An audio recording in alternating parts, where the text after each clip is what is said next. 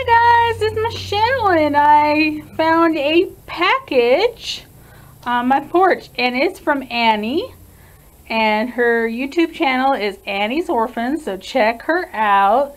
She's got some baby dolls for sale and she's got a masterpiece boy doll that I just simply adore for sale. Wish I could afford Andrew, I'd be snatching him up. But anyways, she had a surprise for Byron since I know she knows he's going through a rough time with his surgery and everything. And she had a baby that needed to be stripped and I volunteered to do that. And she had a boo-boo baby that she sent me that I am going to turn into a zombie because it's a boo-boo kit. And I love doing that with the boo-boo kits because if they're a little messed up, you still can turn them into a zombie. So here's the Riley kit.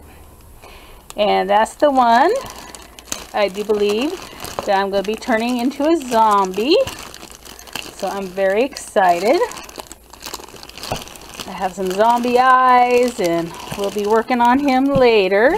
I'm going to be spending a few days in the hospital and so um, I'll take this little guy with me so Byron can open him at the hospital. So I'm going to leave his face covered. So it will be a surprise for later. Um, I, Annie, please let me know if this is the body for Riley or what's going on with that. And inside, or probably for your baby, isn't it? So inside here is the little guy that she'd like me to strip. And so, yep, that should be his head. So I'm going to be working on that for her. And I'll work on it as soon as I get back from the hospital. So I should be back sometime this weekend. And hopefully, he's got a computer down there. So hopefully I can upload some videos while I'm down there.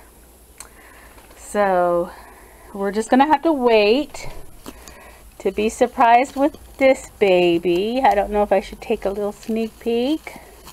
Here's somebody under there? Yeah, there's somebody under there. So, thanks for watching, guys. And I got your package safe and sound, Annie, and I'll start working on that for you when I get back. Talk to y'all later. Bye. Hi guys, I didn't see this on the bottom of the box, but I wanted to make sure I showed it. These are her business cards. And what's cool about them, they're also magnets. So it says Annie's Orphans, Reborner, specializing in leopard human hybrids. And it has her website on there and her email address and some pictures of her little babies. Trying to get so that's very cool guys. So thank you Annie. And I'll talk to y'all later. Bye